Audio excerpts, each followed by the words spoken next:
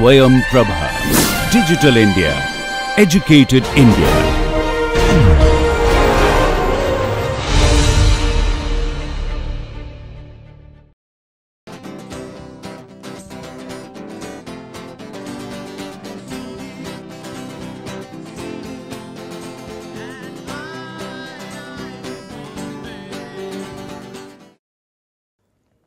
Welcome to MOOC NPTEL course on bioengineering, an interface with biology and medicine. Today we will discuss some examples of Mendelian genetics. You will see how many human traits follow Mendelian patterns of inheritance, but how these patterns are often more complex than just predicted by simple Mendelian genetics. So, there are many examples of Mendelian genetics which we can study and I must say that you know the Mendelian rules, Mendelian laws were made based on the pea plants with very limited uh, conditions. So, we had one gene, two alleles and we are uh, or we are talking about two genes and four alleles kind of properties. But many times when we talk about human characteristics, things are much more complicated, much more complex. And that time the characteristics are governed from many genes, polygenic in nature. So it may not be always true that you know every inheritance pattern is going to follow Mendelian's law. It may not be always true. But there are many human traits which still follow Mendelian uh, rule. And people have done the pedigree analysis. It means in the same family, if you look at you know your grandfathers and the grandsons, their entire you know properties, are there certain characteristics which are appearing and you know, disappearing and reappearing kind of stuff. So that is a pedigree analysis when you are looking at a family history for a particular trait and then you are assembling that information and trying to derive some sort of family tree or pedigree information from those traits. So many of the human traits, for example, one is known as widow's peak, which is something shown here.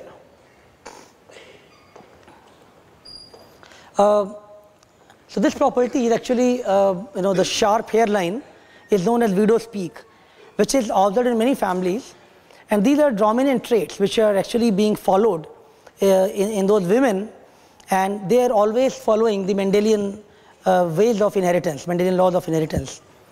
There are certain characteristics like if you look at the earlobe, in this case here, so this is attached earlobe or this is free earlobe, you will see some variations uh, like this. And then these are some of the recessive characteristics which are also found in some family and they also obey Mendelian laws of inheritance.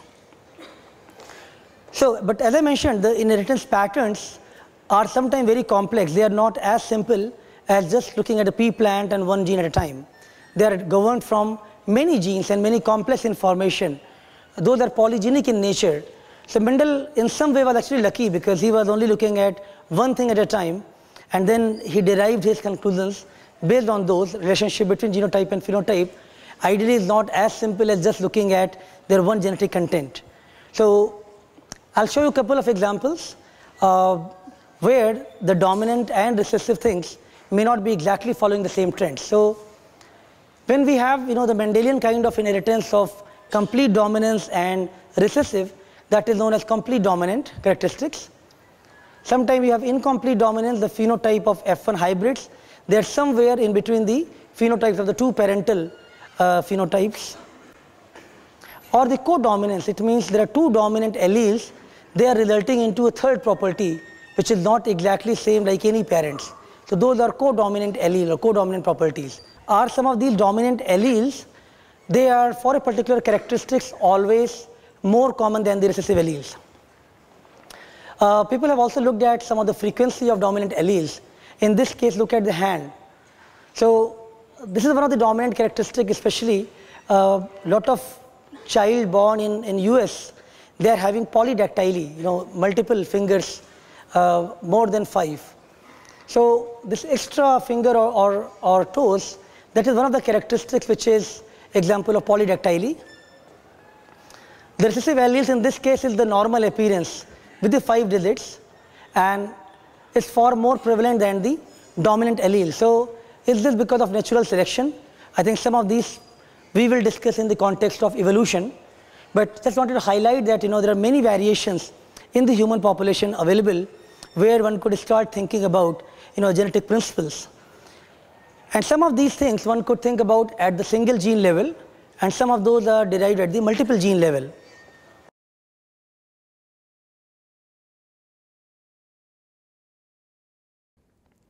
We will now solve some problems based on the Mendelian genetics. Please try to solve them yourself first. Try to draw Punnett squares wherever applicable. It will be easier to solve questions in that way. Also remember two Mendelian laws, law of segregation and law of independent assortment and the concept of inheritance. The law of segregation suggests that two alleles for a heritable trait separate from each other during gamete formation and form different gametes. The law of independent assortment states that two or more genes assorted independently and each pair of alleles segregate independently during the gamete formation. Please revise the basic terminologies like what is dominant, recessive, genotype, phenotype, alleles and traits. Let us solve few problems now. You should try yourself, but a TA will also guide you to show the solutions. So, let us start it now. When true breeding plants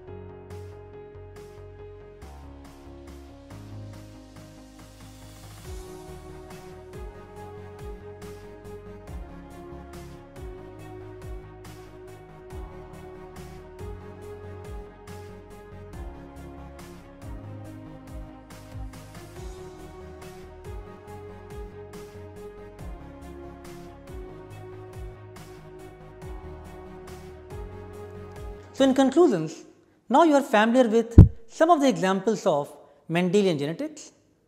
In the next lecture, we will discuss some deviations from Mendelian genetics, where you will understand that not everything in the world follows Mendelian rules. Thank you and see you next week.